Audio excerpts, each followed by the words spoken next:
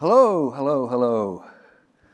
What a treat to be here. Thank you all for joining this session. What I want to do is talk about what everybody's talking about, which is AI. I have a view, and it's an optimistic view, it may surprise you, about why I'm excited by this and um, how I think I think about it, and maybe might be helpful to you how you think about it. Um, where I'm going to come to is to understand these things as the universal personal intern. That's the relationship that I think I've been cultivating, and I think it might be a useful framework to think about what these things are. Spoiler, I'm going to go to the end, is that you're not going to lose your job to AI. I'll come back to that and why I think that's, but you can relax. You're not going to lose your job to AI. Hello. So, what is this thing, this stuff that we're talking about? It's, we don't know. That's the honest answer. We don't know what it is. We have names for it. Um, mostly what we think of AI is all the things that it can't do yet. All right? So, when we think of AI, it's all the things that it hasn't done yet. That's what it's about. The stuff that it can do um, goes under different names. Names like machine learning and large language models, neural nets, and stuff. But that's actually the names of the devices. It's sort of like talking about um, projectors and screens and cameras, which is what it produces are Hollywood entertainment movies. That's the product. The machines are different. And so we're kind of just, these are the names of the machines. We don't really have a good name for what it is that it produces. And um, something is definitely happening. I mean, we're all talking about it. It's in the headlines, it's in the news, and it's something. It's also been the most quickest adopted technology ever like from zero to 100 million people using it almost within days, months, weeks. It's, it's incredibly fast. And so that's something. Um, was thinking of asking how many people here or have used it at least once, and I think I know what the answer is. Um, so I'm not going to. because it's very obvious that there's a lot going on. And the question is, well, what, what is it? What's special now? Why so, so fast? Why so soon? And I think the answer is, is that um, there's a little story of um, a famous song in America, John Henry, who was um, working on the railways where they had to nail in the spikes into the railways. And there was machines coming along. Until that time, it was something that humans did. And the thinking at the time among the people who were doing it was that this was something a machine could not do. It was, there was too much dexterity, too much um, agility needed to actually do these, and the machines were no good about it. And the story, of course, is that John Henry died trying to outdo the machine, and the machine kind of won. And that's what we understand now is, is that, oh, you know, that, that that's the most mechanical job in the world, hammering in spikes. It was not something that was an elevated human only job in the, in, the, in the slightest. And I think that's what's happening right now is that it isn't that AIs are necessarily shocking us with their abilities, it's that we're coming to realize that a lot of the things that we were doing actually are very mechanical, much more mechanical than we thought. So you know, there was um, a list of things like playing chess, which we thought at one time was only something that humans could do, and now it turns out, oh, it's a much more mechanical process than we thought. Searching a billion pages of information was what librarians could do and a machine could, but no, it turns out to be a very mechanical thing that we could automate.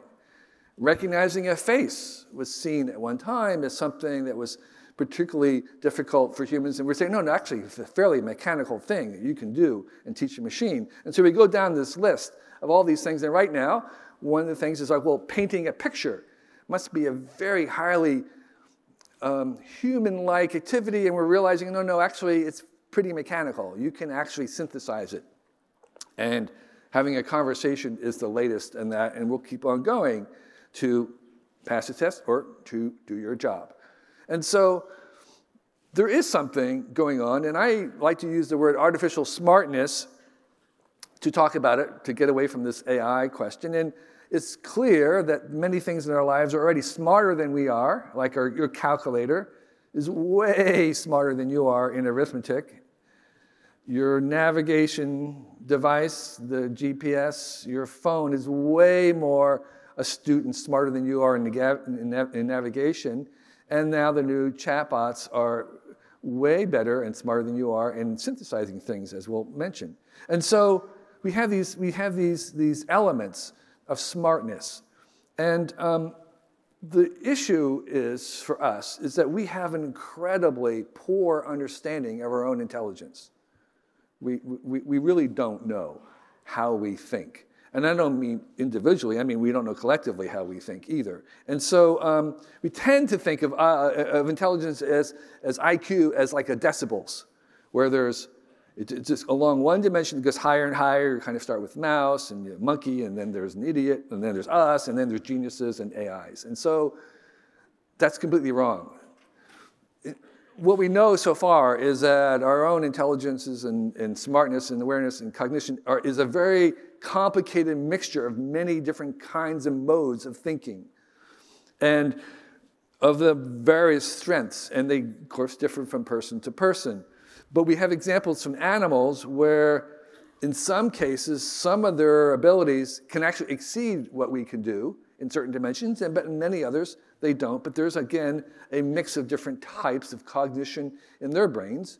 And what we're going to do now with the AIs is that we're going to engineer them with a different complex of different kinds and, and modes of thinking, and some of their dimensions will be higher than ours, and many of them will be lower because there's always a trade off.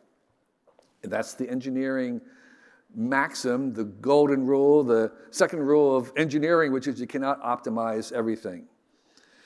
I think we're going to have uh, start using the the term dumb smarten for our AIs because we're going to be incredibly frustrated. It's like, how can you be so smart here and so dumb over here? How can you be so dumb when you're so smart? And there is this idea because there are different dimensions to them. They're not, they're not um, all maximized in one dimension. The main thing is that we're going to make many hundreds, if not thousands, of species of AIs. And we're going to engineer them to do different things. And they're all going to be different and different from us. And the, the, the, main thing is, is, is the plural, is the AIs, is that there is not just the AI, AI, there is AIs. If we can train ourselves to say that, to understand that there are going to be many different kinds with many different qualities, many different tendencies, and um, that we're going to have to collectively have an ecosystem of all these different kind of interacting cognition types. So a good way to think about it is that we're going to populate the space of all possible minds with many different kinds of artificial minds. And, and in this space would be kind of animal minds, would be some kinds. And then there's our own existing human intelligence, and we're going to be probably off to the edge somewhere. We're not in the center. There's, there is no kind of, we're the central and the, and the sun revolves around us. No, no, no, no. We're, we're just, we're a very peculiar kind of thinking and cognition that was evolved on this planet to survive a certain set of conditions, and it's going to be considered pretty peculiar given all the other possible minds that we can make. It's sort of like um, we're at the edge of the galaxies. We're not in the center of, of anything, really. And so I think a good way to think about these things is we're going to be making artificial aliens, that these other kinds of minds, some of them quite sophisticated and interesting, and maybe even sentient, we, the best way to think about them is aliens that we may never, never meet, but we're going to make ourselves with different kinds of thinking. And so, um, the important thing about these artificial aliens and these AIs is that they are not like human. They don't think like us. They think different. And in a world where we're connected together 24 hours a day, it's susceptible to group think, thinking different is the engine of innovation, it's the engine of wealth, it's the, it's the engine of everything. And it becomes harder to think differently when we're all connected together. And the AIs are going to help us to think different. We're going to have different mixes of them, and everybody will have their own sort of soup, their own, their own kind of combination in helping them to think different because that is what we're trying to do. So the fact that they don't think like us is not a bug, it's the feature. Think different, of course, being the, the engine of, of what we're looking for in this kind of an economy. So um, it's the, the point where they are different than humans. That is, again, a, a, an asset rather than a liability. And we may even come to want or desire kinds of AIs, intelligences, that are not conscious because consciousness is in some ways a liability. We may advertise things as being conscious free because you don't want your car to be, you want your car to focus on driving and not to be worrying about whether it should have really majored in finance instead of English, right? So, so, so, so, so, so consciousness for most AIs is going to be a liability and something we'd only want in certain cases. So far, all the work that we've done, all the exciting news, is really based on the fact that we've only been able to synthesize one kind of AI, or excuse me, one kind of cognition. And that type of cognition is basically um, pattern recognition and pattern generation. It's only one mode of our kind of thinking. We have not yet been able to synthesize deductive reasoning, intuitive uh, symbolic reasoning or uh, logic induction, all these other kinds of, of modes of thinking we have been unable to synthesize yet. So all the things that we've seen and all the things we uh, are experiencing right now are basically because there's been one type of cognition, and that pattern recognition and pattern generation. And so that pattern generation is the neural nets, that's the deep learning that you're hearing about. And it has taken us further than we thought it could go, but is very unlikely to take us all the way of, to where we want to go in making other kinds of minds. So, um, but so far, just with that kind of cognition, we can generate things like these AI generated images, which are basically taking two or three or four different kind of patterns and combining them together. Cat-ish, catness, you know, laceness, armorness, and combining them into these images. Here are some images that I've been generating. I've been generating images for almost a year, every day, making things. And um, this is an example of the kind of artificial creativity that these things are capable of. I say they're artificially creative in the lower case creativity, um, meaning that they're kind of everyday creativity. They're not breakthroughs. They're not the capital C creativity that we really cherish in a lot of our innovation. Um, but that kind of artificial creativity is now a commodity. It's something we all have access to, something we did not believe could be automated, but we have every clear indication that we can generate lowercase creativity, the kind of creativity that, say, a logo designer, a professional logo designer would want to be making a logo every day. It's not Picasso, it's not tremendous breakthrough, it's everyday creativity that we would need to make something a little different. And that's the kind of capability that these AIs have right now. And what we're seeing is almost instantaneously they're being incorporated into everything. So the same kind of pattern generation, pattern recognition is now a plugin for Google Sheets into your spreadsheet. So your spreadsheet now can do these pattern things. And it's being built right into Photoshop. So within Photoshop, you can do this. And um, Salesforce, Slack are all as quick as possible, just, just bringing this in as another capability into their tools so you can have pattern recognition and pattern generation. So it reminds me of the late 1980s and early 1990s when there was a huge excitement in the internet was first forming And like literally every day, there would be something new and different that was useful. Unlike, say, crypto, there were things you could actually use and, and change your daily habit with. And I think this is a very similar kind of excitement right now that we're going to be seeing in the next decade, where literally every day something new will be coming out, and we're going to be incorporating that into our lives. So, what's interesting is that I've been speaking to the people who invented it, and by and large, none of the people who invented these things really knew that they were going to be capable of this. They were kind of as surprised as we were. And what's happening is that the people using it, like us, are actually discovering what it's good for. Right? And it, this is the, one of the messages, which is that through use, we discover the benefits and the harms of these things, not by thinking about them.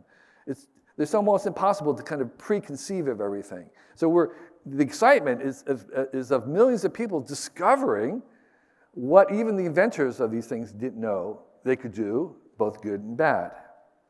And, um, and that's sort of the question of what are they good for. So I've been interviewing and trying and polling and asking people who are using these on a daily basis, what are they using these things for? And one of the things we know about AIs is that it does jobs that humans don't want to do. So these pattern recognitions can be put into tractors so they can go down a field and using GPS as well, they can actually identify individual lettuce plants one by one and recognize, oh, I see you again. I saw you yesterday. I'm going to analyze whether you're healthy, whether you need water or fertilizer, plant by plant. That's called precision agriculture. That's something that a farmer would like to do, but it's just simply being capable of it. And so that can transform agriculture through that pattern recognition. And it's a job that we don't want to do and can't do. So, this idea of kind of productivity, of increasing the efficiency of things, is something we've been using machines for a long time, and it's what we're going to use AI for as well, the AIs. But productivity is really for robots. It's a terrible metric for humans. All the, um, you know, us, we want jobs where productivity is not that important. And what kind of jobs would those be? Well, things like science. Science is inherently inefficient. You have to fail a lot. You have to have, you have, to have experiments that don't work in order to really learn anything. If every experiment that you ran as a scientist worked, you're just not trying hard enough. You're not really learning new things that way. So science is inherently inefficient. Innovations, as any entrepreneur would tell you, is, in, is inefficient because you're trying things that don't work. You have prototypes, you have dead ends, you have failures on your way. Exploration, by definition, has detours and dead ends and is not efficient. And art, you know, who's ranking Picasso and how many paintings per hour he's making? It's not about efficiency. So the things that we value as humans and like are inherently inefficient including small talk and things like that. And so we're good at that, and the robots are really good at productivity and efficiency. And so we're about inefficiencies, believe it or not. And that's where we're going to kind of gravitate as these AIs do a lot of the things that really where productivity counts. I think there's going to be four models, four frameworks we can kind of imagine about AIs. And one of them is to treat them as slaves, another is to treat them as pets and animals that have that kind of relationship. And another one would be to consider them spirits or gods. And the last one is aliens, as I said, artificial aliens. So the slave one, I think that's really dangerous. I think that's that, that if we took the stance of treating them as slaves, as master slaves, that's incredibly corrosive to our own humanity. And that's not, I mean, that's a possibility, but that would be something that we should steer away from.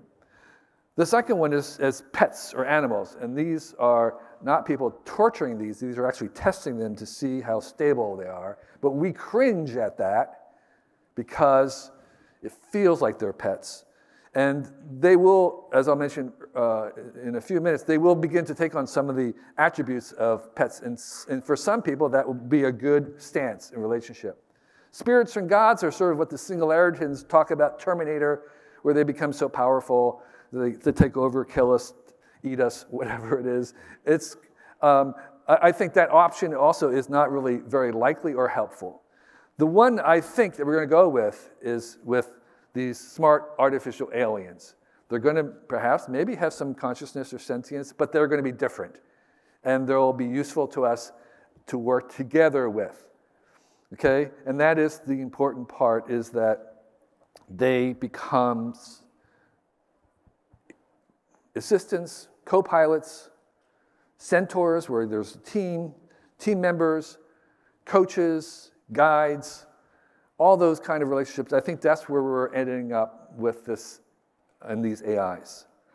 So um, that role is what we're seeing already happening with the generative art AIs, the generative chat AIs, is that they are working as uh, adjacent to us. They're not going to take over us. We're not going to enslave them. We are partners and team members and assistants and interns, and um, we have a different kind of relationship.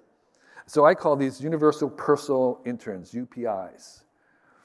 And we will begin often with a blank page. And one of the things that we're finding out about these UPIs is that they're really good at helping getting over that blank page, the first draft, the first thing. Is there's an intern, and they're going to make a first draft. They're going to have some bullet points. It will be very, it's very embarrassing to release their work as your work. Everybody can detect that's your intern's work. And so we work with them, we, we help them, they're, uh, they're assistants and their helps to us.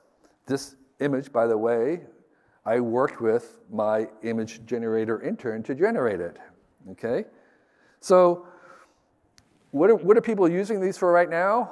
Uh, the, and this is the marvelous, exciting moment where, again, people were discovering all the capabilities that, they were, that the inventors did not know about. And so I've been interviewing, asking people who are using these on a daily basis, what are you using for?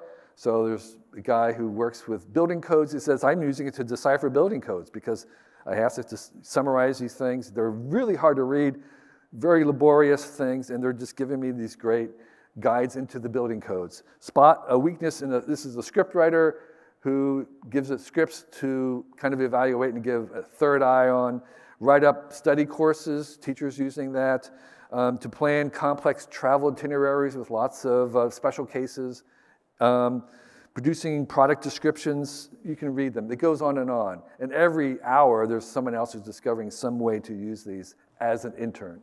Again, they're not, they're not producing the final work, they're very involved in helping you produce your best.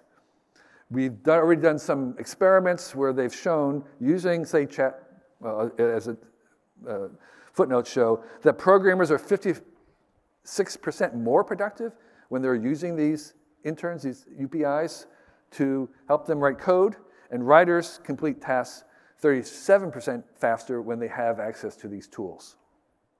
So another way that we're using them is, is to fill in blanks. So image generators,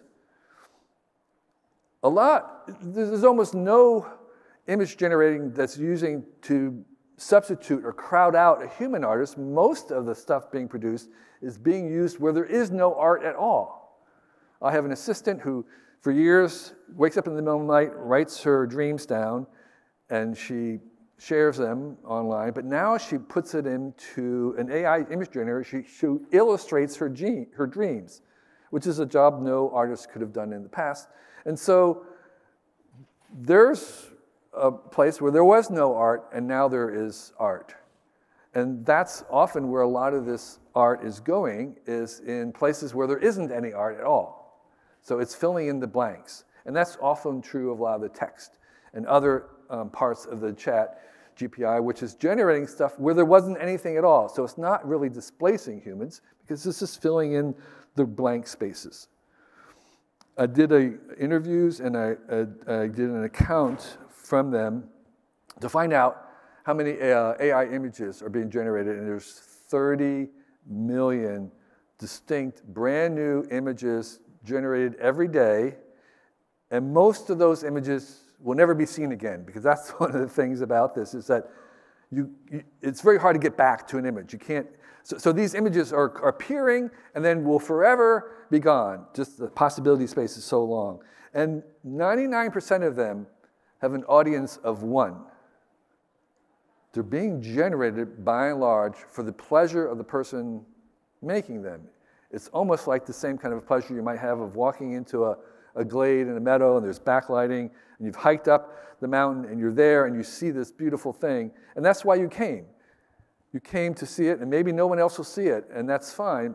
You, you are enjoying it. And that's a little bit of what these AI generates. People are generating, like myself, just because they're, it's like having my own art museum, it, and I get to see them, and it's just a pleasure of seeing them. One of the other things we know about AI and how it works is that it's like the wisdom of the crowd kind of knowledge. You know about the jelly bean counter. So the idea is there's county fairs and they say count how many jelly beans in the big jar and you win a prize. And what they discovered was that the most accurate um, count was the average of all the guesses. And they would call it the wisdom of the crowd. And that's what we get with the AIs. We're getting wisdom of the crowd kind of knowledge. It's sort of like, it's like, it's the average. That's how it is. It's trained on the average of all human output, the best and the worst. And it's giving us a very kind of bland, mediocre, good enough, average response. Okay, and so that can be very, very useful. Again, it wins the prize at the county fairs, that average guess, and it can be very, very useful, to Us, but it's not necessarily what we want to do or our best. And so what we're finding for the people who are using it is, is that um, in order to get the intern to do better, is that they have to push them often. They have to push them to be a little bit more creative. Or actually, what they're discovering is that you want to role play. You want to say, pretend that you are a, um, a mortgage broker and you've got, um, in, you know, in, in uh, some other country and you have to make some decisions in a hurry. And then, so there's, there, there's kind of role playing that gets them to get out of the ordinary that is their default. And um, there is this idea that there's kind of a slider between average and creative. And the, and the problem is that slider is kind of also corresponding to another slider, which is the truth and the hallucinations that they make. They're very good at making hallucinations when they're creative, because they can be creative. But oftentimes we don't want them to be creative, we want them to stick to the facts. And so we're learning how we can steer them to say, no, no, no, don't be so creative in this. I actually want to know the facts. I don't want you to make stuff up. But in this other cases, yeah, be creative. Try something that's really kind of strange and different, and I'll need to push you in that direction. So what these this kind of these pattern generated AIs that we're talking about are really good at is synthesizing between two very different places. So you take what's between a watermelon and a jumping spider, there is this thing here that it can generate. That is very, very difficult for us to do on a regular basis. We can do that, but we don't often do it because there's so much trouble. The AIs don't mind doing them in seconds again and again and again, so we can kind of waste them in that sense, right? So, so it's like, yeah, an artist, you could hire an artist to do that, but it would be a lot of work to kind of take watermelonness and take jumping spiderness and, command, and kind of understand both of those and combine that. And so that would be a big project, but the AIs are going to do it in a few seconds, and that's really marvelous. So we see the same thing in the text, where there are different, very remote, different kinds of things that you can ask GPT, ChatGPT to actually take. Pretend you're an architect and you are going to have to design only botanical structures what would that look like? And then they're able to, to, to match this or take, oh, study all the chemical patents in the last year and the fashion designs and make something that's based on those, make some fashion based on the new, new chemical patents. It can do that. That's something we could do, but we would not like to do, do more than one of them. And the intern is able to do lots of them over time. So this idea of the in-between spaces, they're very, very, very good at. Uh, an example would be give me five examples of what would happen if Rome had invented gunpowder. To do that, you would have to as a human, really know the history of Rome and really know the chemical aspects of gunpowder, but the, these AIs, that is something that they're very, very good at. And as I said, it's wasted. It's, it's like we wouldn't do that because it would be so much trouble, but we're kind of wasting that ability, which reminded me a lot of the early days of search. When search first came along, before Google, there was AltaVista. And I was trained to do search in the 80s, something called Dialog, before there was the internet, and it was, it was like about $25 a minute to search for something. $25 a minute. So you only went into search with a long list of everything you needed because you wanted to go in, make that search, and come back. You would never waste a search like searching your own name. That would just be wastage. You, you would not do something frivolous about searching for recipes. It was very, very expensive. And so what search brought to us was this idea that we could just waste, or you could just search all day long, whatever you wanted to, this was this new power, and from that were built many new products. And that we're going to say the same thing now of making the synthesis between things, and we're just going to waste them. They were kind of very, very hard to do before. Now they're even, and we're just going to do them here and there, and we're going to kind of have that abundance of, of, of synthesis. So, there are people who are better at this. There are AI whisperers who can really do this because they spent a thousand hours whispering to these AIs in order to find out, to understand how they worked, to change the word orders, to get the right spell, to trade them with other people, to actually get the best of it. And some people are really, really good. They're maybe 10 times better than others. I spent hours and hours making this image with my Midjourney AI, and it was not just clicking the button. It was a conversation back and forth, trying different things, going there. Like a photographer, stalking an area. Oh, I think this is kind of promising. Let me see what's right here. Oh, that's not so good. I'll tr- try this place over here. And you are together exploring and creating this thing. And I have feel very confident about putting my name next to it as a co-creation. And as I said, the people who do this really well are now called prompt engineers or prompters, and they are sometimes 100 times better than the average person because they're spending so much time. And recently there's been three job post- postings for prompt engineering already on LinkedIn, and one of them was offering salary between 175 and $300,000 a year for being a prompt engineer, someone who could whisper to the AIs. So um, I think you're going to be paid by how well you work with these. Yesterday, Esther Perel did a fantastic job. She's the legendary therapist, and she was talking about someone who made a bot of her. Um, and she was kind of discussing her mixed feelings about it and, and the fact that she's a therapist and this was a, someone who had taken all her podcasts and put it into these machines and had made a, a replica, an imitation of her as a bot that you could interface with for therapy. And the person who made it said it was really helpful to them, and Esther said it actually wasn't bad, but it was kind of average and mediocre because it was the wisdom of the crowd, of her own information. And um, the thing about that is, is that um, Esther writes books.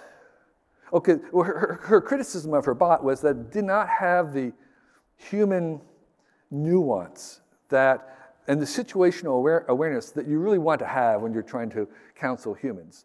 And so it was deficient in that very, very substantial way. And she worried about people becoming dependent on this artificial intimacy rather than the kind of full blooded very high dimensional relationship that you want to have with another human. And that's all true. But Esther writes books that are not of advice, that people read that are not at all aware of the situational context of the person that is reading them. And so, in some ways, her bot has to be better than a book because at least it's interacting. And there are people who swear by the therapeutic effect of having pets, like a dog. And it's very clear that the dog's own therapeutic responses may not be the optimal thing for a, for a human, right? They may, they could be wrong. They're not infallible, just like um, the bot is not fall- is going to be fallible. So in some ways, but they, the, is, is her bot, her bot may be better than a dog. And then there's also the parts of the world where there are um, people who don't have access to a dog or a human therapist, where this bot may actually be better than no therapist at all. So, so, so, so I would say that, that Esther, Esther's bot is actually better than a book, and it's better than a pet, and it's better than no therapist at all. And that's what we're finding out with a lot of these bot things is, is you always have to ask compared to what? Compared to a human, yeah, maybe not so good, but compared to nothing or none, it's a huge advance. So um, there's a movement, there's been a movement of reaction against some of this. Um, the A, there's um, no AI generated images. Some artists are call, were calling for that in the places where there were um, clearinghouses and sharing of all the artists. They wanted to, to prohibit people who made AI art. And um, there was also a recent challenge where someone tried to copyright a book where all the AI art was from, um, all the art was from AI generators, and it was denied by the Copyright Office. It said that's not copyrightable because it wasn't made by a human. So here we have some, a picture that is claiming to be uncopyrightable. This is obviously can't be sustained. Um, so I think, I think that the, the copyright is the wrong model for trying to deal with some of these issues. I'm suggesting that there is another kind of right or something we might think about as reference right, whether something has been referenced in the making and training of these things, not just whether it's been copied, because copies just are not the right model for this. What we want to have is some way to measure the influence of, of a piece of art in training the AI as it makes some art, but this is very, very, very hard. We don't even have measurements of influence.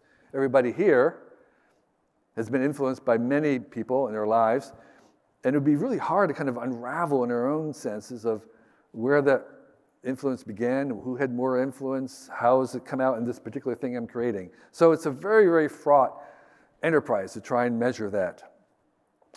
Um, I think we actually may come up to have sort of more ethical training AIs uh, that have been had a curated training set where there's much more of a selected and opt-in idea for the artist to be included in the training set um, but in fact, I think there also may be other sets where people, artists are, are clamoring to be included in the training set because that shows that they're influential. And so maybe there is some way to, to, to send back some of the expenses and, um, and gains and, and money, but um, the influences are generally very, very minimal. So um, all that being said about still images, I think the real superpower is not in those making photographs or still images. I think we're at peak 2D. The real revolution, the real place where we're going, the real superpower to be unleashed is when we go into 3D. Okay, we're to make 3D models or movies. So you or I, anybody here could probably make up a little typewriter-sized page of uh, a drawing of something if we had a day. But none of us could make like a 3D world. Or, uh, so it's like maybe I could draw our kitchen, but could we make a 3D kitchen that we could walk into by ourselves in a day? No, we couldn't. And an individual here could write a book, and that book could be very influential, a bestseller, could reach millions of people, and it would be themselves writing the book. There's no human here who can make a movie by themselves. But these tools and the future versions of them could allow us these interns, to assist us to make a movie ourselves, one person. And we already have examples of these AIs being used to generate video. Okay, so, so already these tools are starting to happen.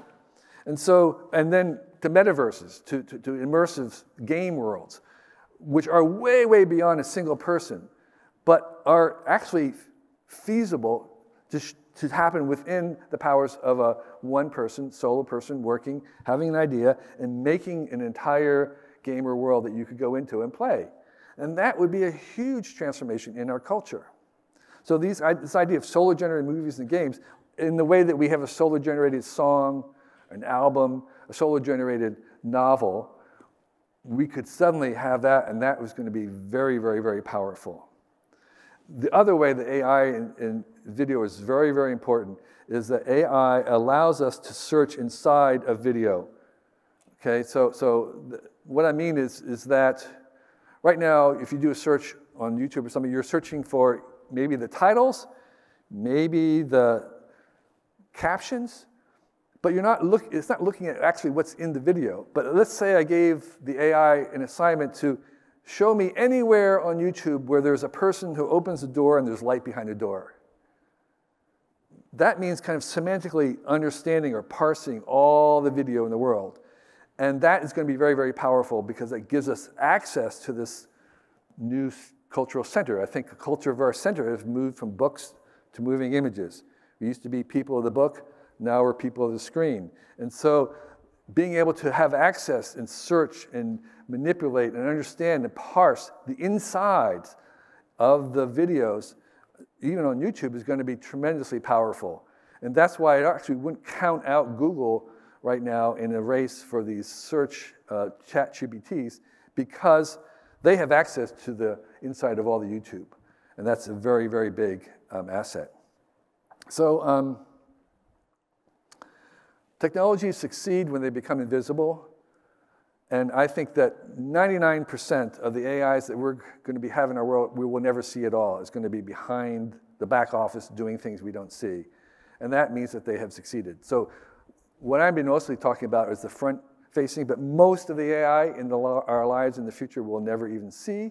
It's going to be behind walls and back offices doing this thing, and it's only a few that we're actually having any interfacing with. But that interface is very important. So most of the AI that has happened so far, all the things that we're all abuzz right now today, is because not that they're doing new things. A lot of the stuff that, that the AIs are doing now, they've been able to do for years. What's new is that we suddenly have a conversational interface with them. They have ears and mouths. They are they're responding to us at our wavelength. That's what's new, is this language, what they call the large language model, is that they took the large language models and added to the existing pattern AIs, and suddenly we have a new thing. It reminds me again of the days of the internet where we were, I was online, living online for 10 years, but it was typing. It was the command line. It was, it was like little text going by. Everybody ignored it. Nobody was impressed. It was difficult to use. There seemed to be no revolution. But then when the web came, it was visual. And that visual interface transformed everything. It was like, aha, we get it. Because there was an interface evolution, revolution. And that's what's happening right now. Is this is an interface revolution where the AI has been around, but now we have this thing of conversing with it, and we're going to basically um, keep expanding that. So we'll have it, we'll add it to everything. Everything's going to have a better conversational interface, so they can become our interns. And if you have, a, uh, there'll be a zillion startups which is take something and add this conversational interface to it.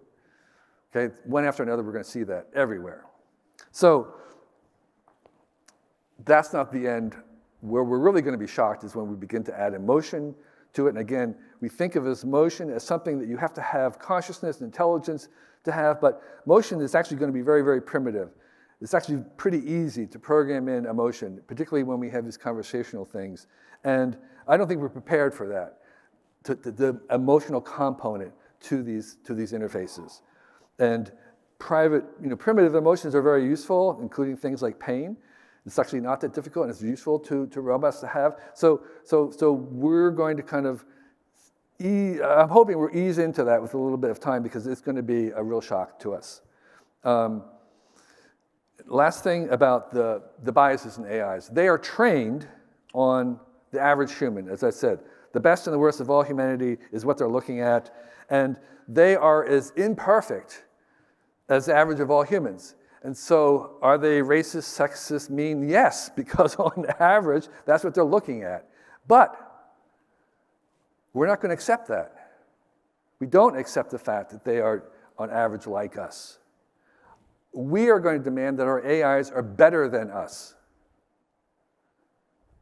Okay? They have to be better than we are. They can't be as sexist, racist, mean, dumb, whatever as we are. We want them to be better. And it's actually not that difficult to program into AIs and ethical guidance and stuff. It's just code.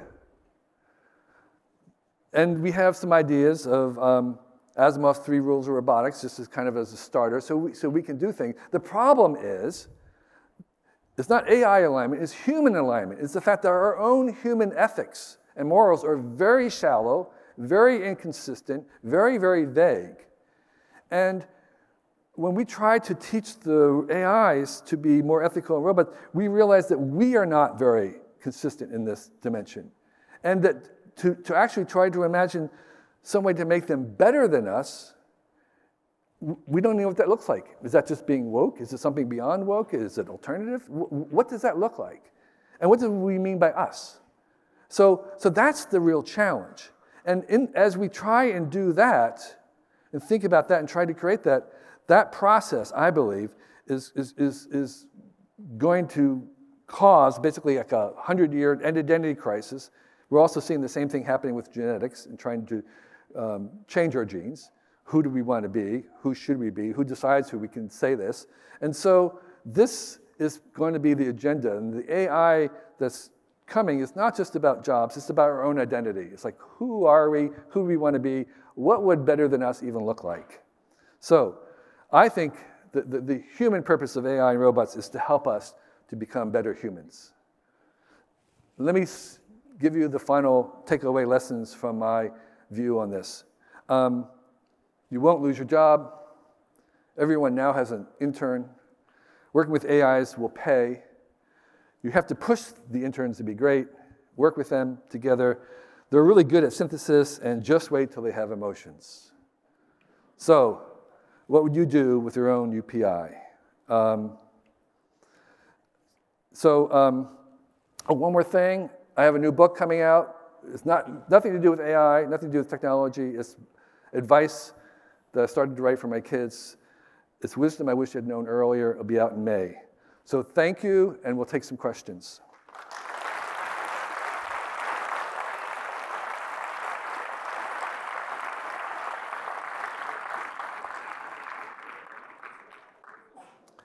So um, I'm gonna, there's questions I see here. Um,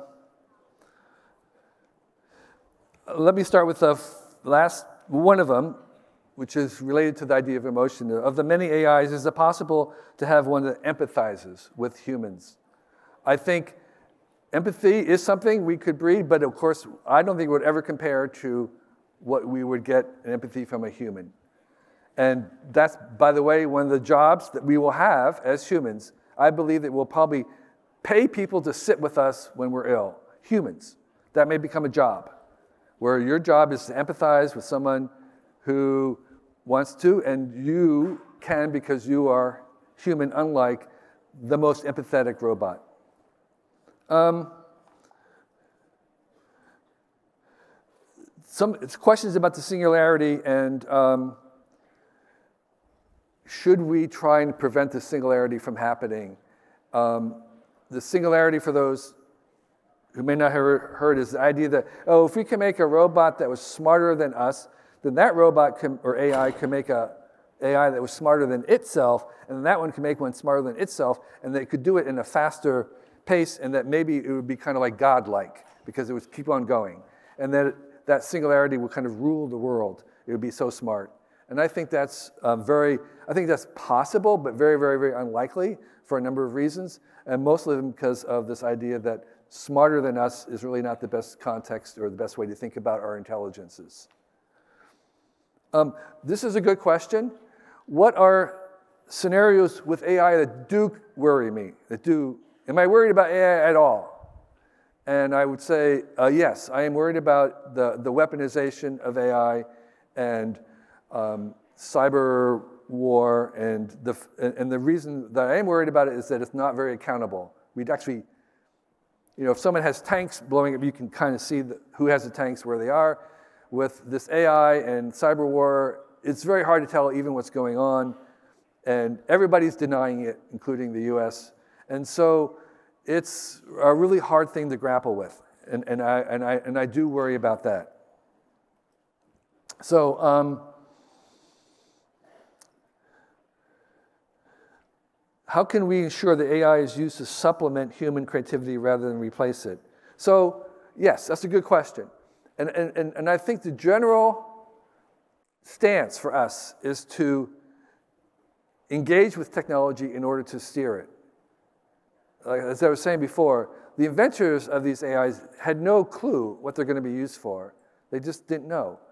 And so it's by use that we kind of understand what it is, and it's by use that we get to steer it. So by using it, we can decide what we like to use it for more for, and that gets to steer the technology. If you try to prohibit the technology or ban it or turn it off or turn it down, you don't get to steer it. The people who are using it are going to steer it. So I would say, in general, engage with the technology, try to use it in the way that you want it to be used, and that's actually the most powerful way for us to make sure it goes in the direction we want. If you try and ban it, you just don't get to steer.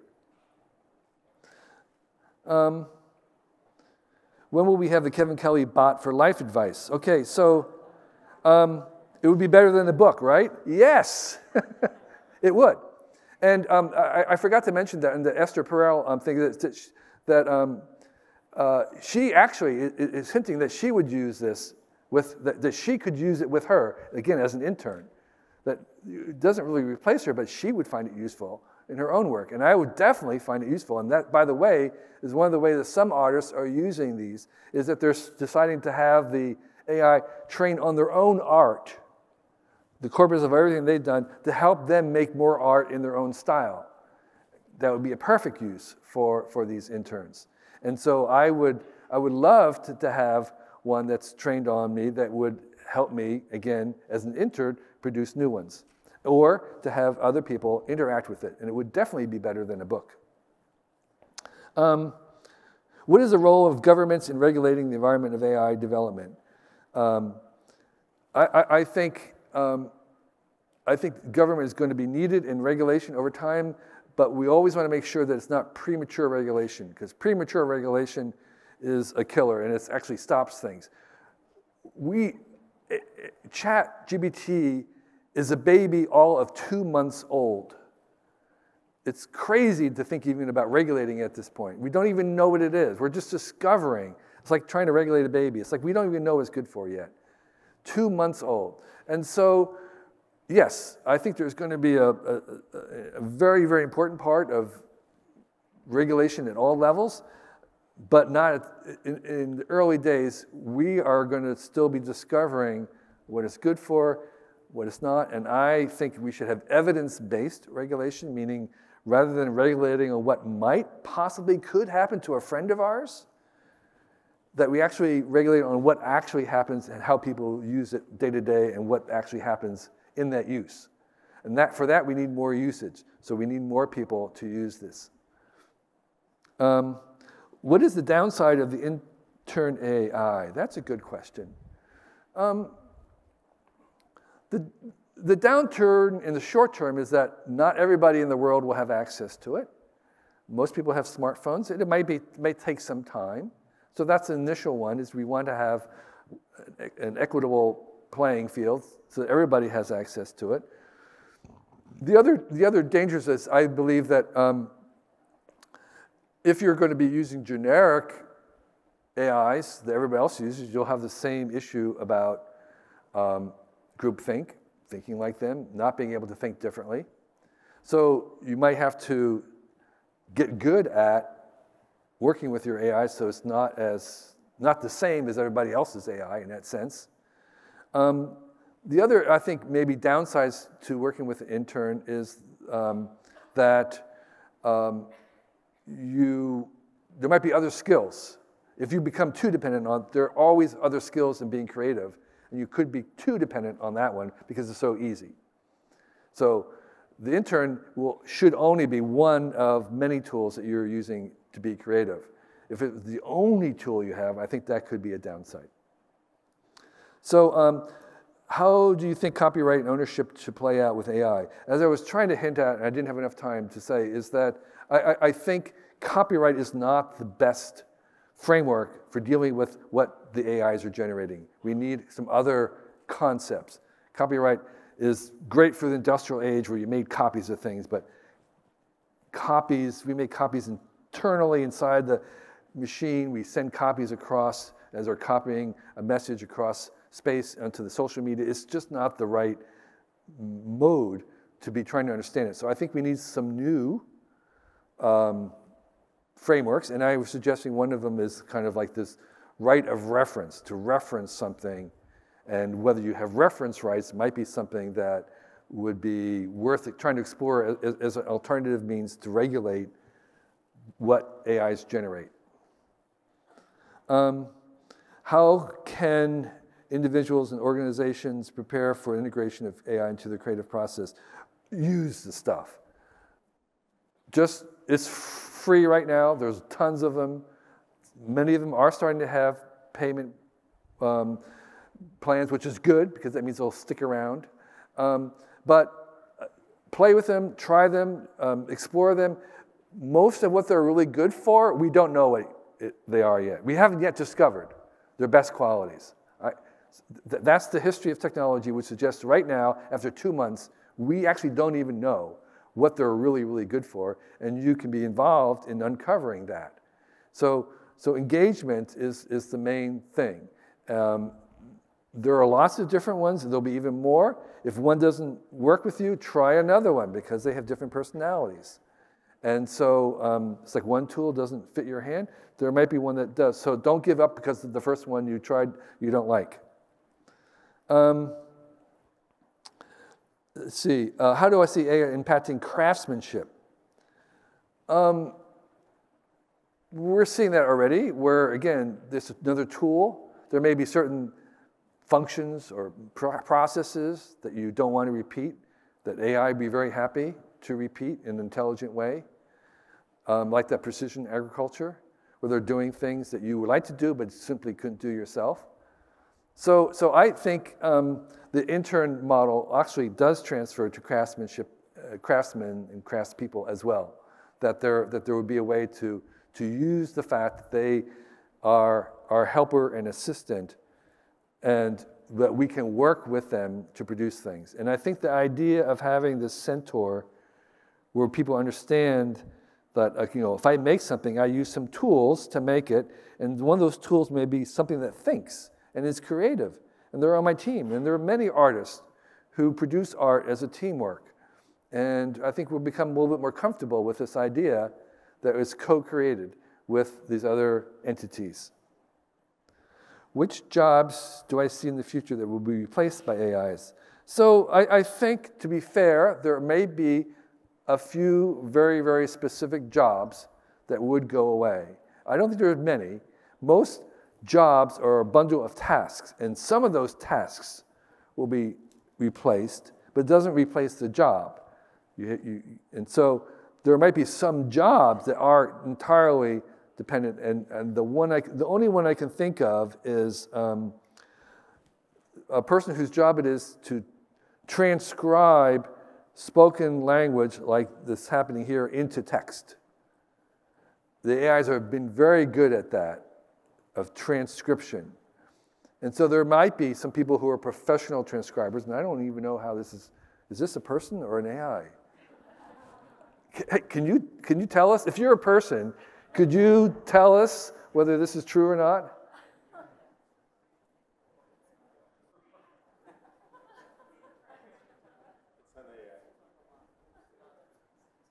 It's an AI. okay, so, uh, so that, yeah, so, so there aren't that many people doing that anymore. and, um, but, but I actually have, have, had a call out to say, I should have made this earlier when there was more people here. If anybody has had their job, anybody has lost their job because of AI, um, or can give me a name of a real person who has, I'd like to know about it. Because I haven't found a single person yet. Okay? I, I, have, I have not found a single person who can say, I lost my job to AI. And if you do know of someone, I would really like to speak to them. Um, so right now we have kind of the third person. Well, I can imagine a friend who might lose their job, and, but that's not good enough. So um, um, what about, okay, this is a question. What about AI being um, managed by only a few big players? What about, if, can there be a monopoly on AI? And there absolutely could be monopolies on some kinds of AIs. Absolutely. That will affect the network effect.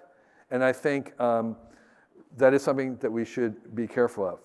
My time is out. Your time is out. Thank you for your attention. I really appreciate it.